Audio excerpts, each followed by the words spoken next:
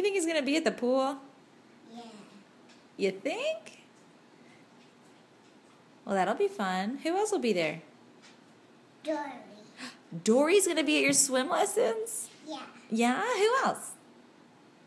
Nemo's Daddy. Nemo's daddy. And me. And you, who's taking you to swim lessons today? Daddy. Yeah. Are you playing peekaboo with Moo Hmm. Is Moo Moo gonna come? No. Moo doesn't swim. He's a toy. Yes. He's only a toy. Silly mommy.